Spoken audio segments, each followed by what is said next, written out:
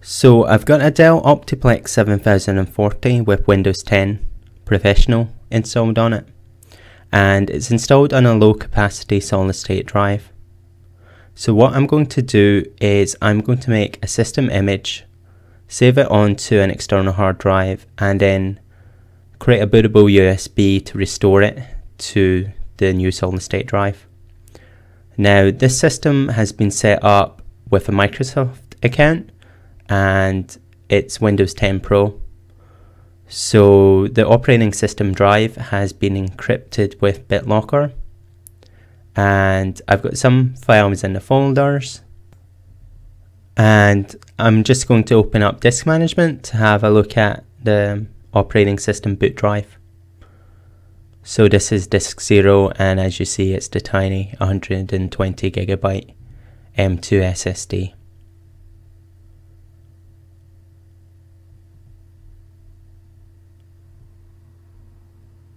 Okay, so I've got some programs installed on this.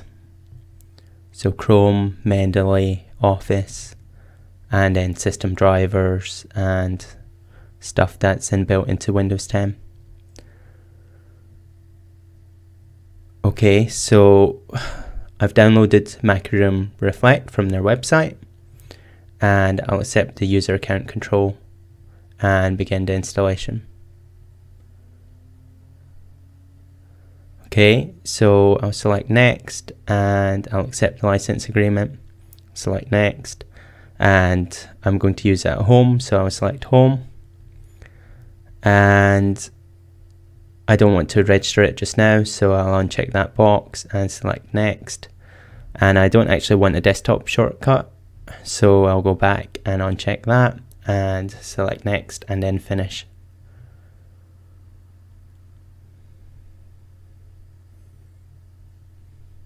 Okay, so I'll select finish and I'll launch Macrium Reflect. So the first thing I want to do is select backup and backup windows.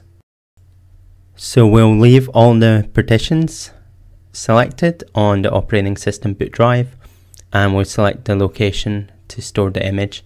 So this is going to be on my external hard drive and I've already got an Optiplex 7040 folder.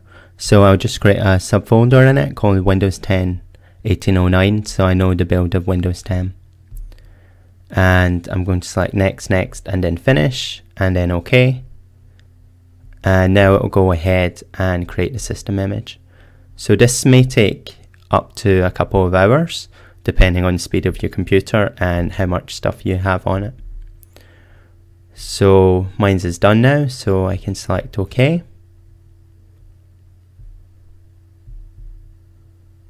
And now in the next stage, I need to create bootable media. So I'm going to select the icon to create bootable media.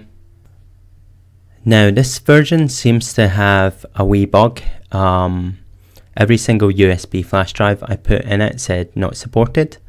So I'm going to get it to create a ISO instead and then I'll use Rufus to use this ISO to create a bootable USB. So I want to save this to my external hard drive. So I'll change the location and then I'll select build. And it may take a few moments to build this ISO. So I've sped up the recording again. And now it's done, so I can select OK. And now I can close down Macrium Reflect. So I'm going to use the program called Rufus to make the bootable USB. Now I've just had a wee folly. I put the ISO on the USB flash drive, which will obviously not work if I try and load the ISO to make a bootable USB. So let's move it onto the external hard drive and let's launch Rufus and accept the user account control prompt. So let's select the Macrium Reflect ISO and we want it to use the GPT partition scheme and the file format as FAT32. You want these settings unless your computer is older than 2011. Then you'll need to use the MBR partition scheme. If your computer is from 2011, you'll need to check if you've got a UEFI BIOS. So I've made my bootable media and what we want to do now is power off the computer.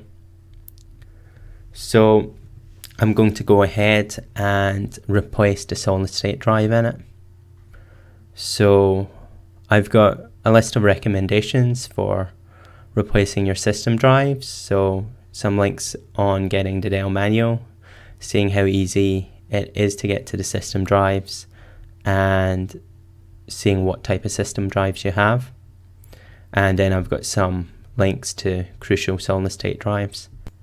So if you're going to buy one of these anyway, could you use the affiliate Amazon links on my website and it will help fund the running costs of my website and the cost for test hardware. So I've replaced the SSD in my Optiplex 7040 and now I'm going to press F12 to get to the boot menu.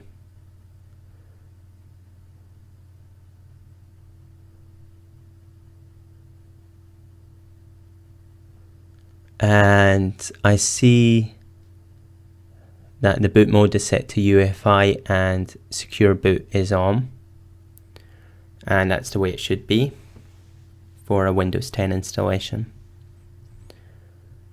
So we'll see the Macrium Reflect splash screen. And here what we want to do is select browse for an image file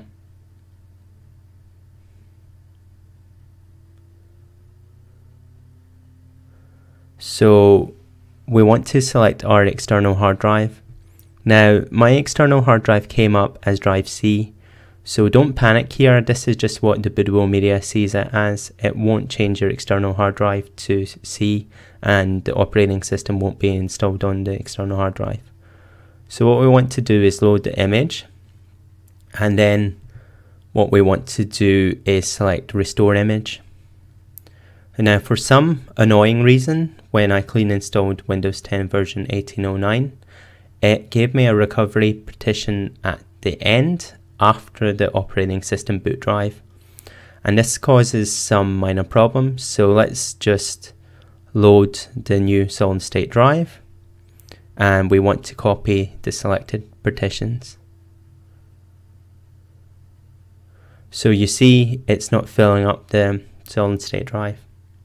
And if I select the main partition, the one that has partition size in gigabytes, then you see that it's apparently at maximum. So this is a limitation of Macrium Reflect that it cannot extend partitions unless they're at the far right of the drive. So what we're going to do is select undo and we're going to drag and drop each partition.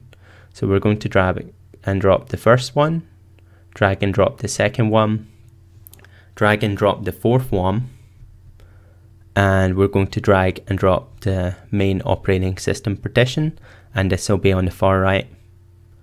And now we can change its properties, and we can set it to be maximum size.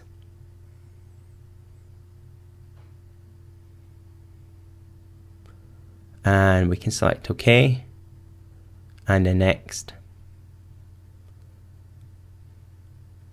And then it'll warn me that BitLocker is not enabled so I'll just select OK here. And then I'll select finish. So basically when Macrium Reflect makes the, the image within Windows it disables BitLocker.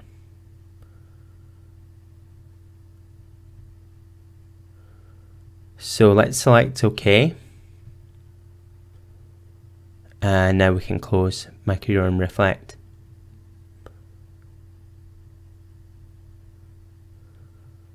So this empty solid state drive should now have the Windows 10 image on it and should load normally. And there we go, there's a lock screen so I can log in uh, with this test email account. Okay, so now we can just go through the computer so we can have a look and see the operating system drive doesn't have the padlock on it, so BitLocker isn't enabled, as I said.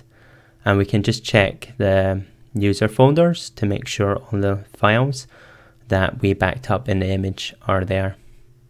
So great, they are there. And if we have a look at disk management, we can see that the solid state drive is larger now. And we can see the difference in the partition sizes and also in the order of the partitions. And we can check that all our programs are there. So these were all installed when we made the system image. Okay, so what we can do is enable BitLocker now. So I'm going to right click the operating system boot drive and select turn on BitLocker.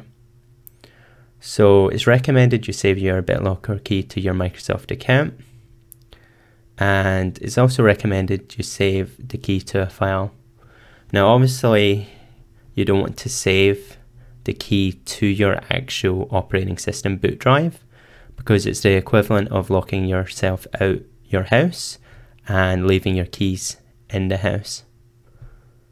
So because the PC's already in use, we'll select that option and we'll use the best encryption for this device.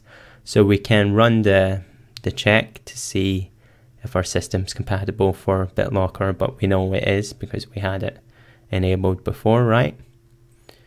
So we'll be told to restart and we'll restart and log in. And in the background, BitLocker encryption will begin and we just leave it to do its thing. This may take a couple hours.